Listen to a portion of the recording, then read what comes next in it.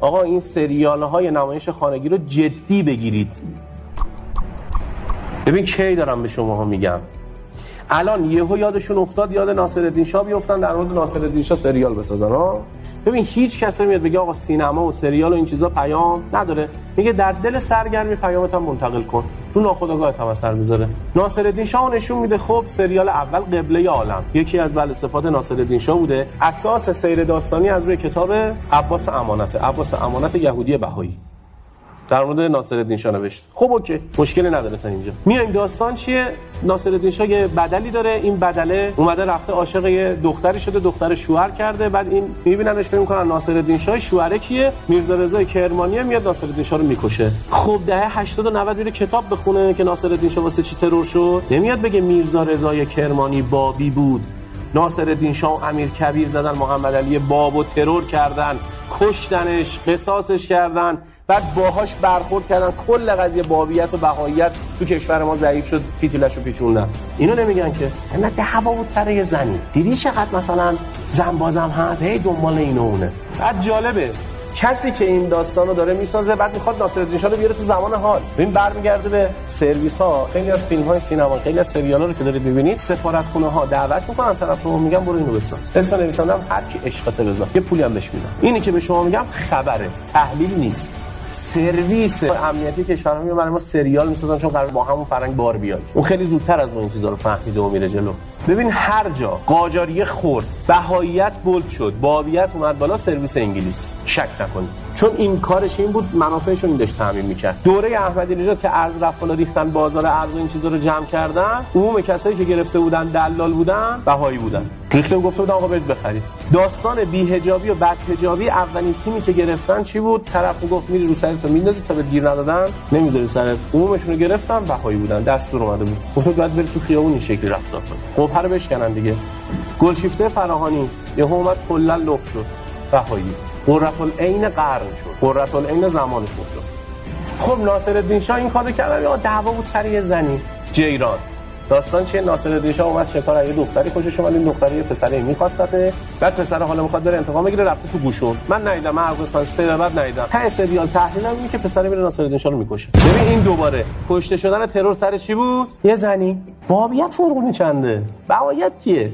هوس باز بود. آقا من اصلا هیچ ارادتی به قاجار و ناصرالدین شاه این چیزا ندارم ها اشتباه نشه. منتها ببین قاجار هر چی بود دین اسلام تشیع قبول داشت. مثلا نمیام بگن ناصرالدین شاه یهودی‌ها رو مجبور می‌کرد می‌گفت روز عاشورا باید هیئت تشکیل در جنان رد نه همتون رو می‌کشم و برخورد می‌کنم و اینا. مثلا این شعری که می‌ذاره صدا و سیما مدام پخش می‌کنه محمود کریمی خونده محرما پیغام جبرئیل به نجف برد جبرئیل یا مرتضی علی پسری داشتی چه شد؟ این شعر ناصرالدین شاه. و اینو نمیام بگم. شعرهای مختلف و خیلی مدعا خونه اینا هم مال ناصرالدین شاه. بعد برعکسش پهلوی که میاد کاملا شیف پارادایم اعتقادی می‌کنه. کشف هجاب منع روزه ها نمی‌دونم با دین برخورد کنه با روحانیت برخورد کنه با اعتقاد ببین این برخوردار نگاه کن اینجاها اینا باید خراب بشه. سریال هایی که می‌سازن دقیقا این سبک. میاد دهه 60 تو که دهه ایمان بوده دیگه. همه ایمان دوره جنگ هر روز رفیق شهید می‌شده. تو پلاکارد شهادت می‌دیدی یاد خدا زنده بوده. میاد یه سریال می‌سازه میگه همشون دوز بودن. ببین اینم اتفاقا دعوای زنی بود. سریال جدید که این هفته پخش شده دوباره. داستان چیه؟ پایین اقتصاد طبقه رو داره نشون میده. میاد طبقه پایین یه پسر جوونی نماد نسل جدیدیه که حالا میشه دهه 70 دهه 80 اومده تو جامعه چیه؟ شناسنامه نداره. چی بوده داستان؟ مامانش سیغه یه مردی شده بوده آتیش گرفته سیغه نامه سوخته به این شناسنامه نمیدن. بعد ارازل شده نمی‌دونم میره کشتی می‌گیره دزدی می‌کنه چیز شهرداری رو میدزده. یعنی میگه من دارم حقمو از دولت و اون حاکمیت حاضر دارم می‌گیرم. تابلوها رو میدزده چراغ نمی‌دونم تو چی رو برمی‌داره می‌بره. خب داستان داره این شکلی پیش میره. بعد میگه چجوری می‌تونم شناسنامه بگیرم؟ داره به معرفی می‌کنه. میگه خواهر اون بابات که مثلا میشه عمه خوندش اون فقط زنده تو تست دی ان ای بده. بیا اگر اوکی شد ما شناسنامه بد میدیم. اون خانواده تو مسجد حزب انقلابی دینی دعواش میشه میگه برو کسافت برو من تو رو نبینم برو نمی‌دونم تو چیه. تو معلوم نیست تخم ترک کی تو معلوم نیست بچه کی. بعد استدلالی که می‌کنه میاد میگه ببین یا میای آزمایش میدی یا اون جنازه رو تو گور می‌کشم بیرون؟ از استخوناش می‌گیرم که من اینجا دعوا سر چه شناسنامه نماد هویت. میگه هویت منو گرفتی؟ یا میای پس میدی هویتمو؟ اونجوری که می‌خوام زندگی می‌کنم. یا از تو گور می‌کشم بیرون؟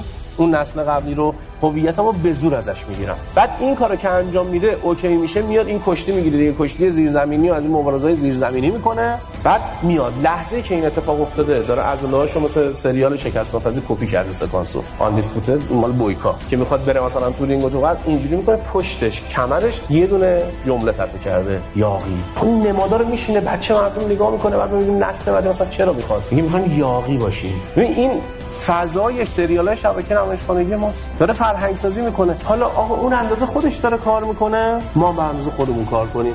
وقتی کار نکردی بقیه کار می‌کنن. توقع نداشته باش. بعدم میگه وای چرا اینجوری شد؟ چرا اونجوری شد؟ چرا فلان کارو نکردیم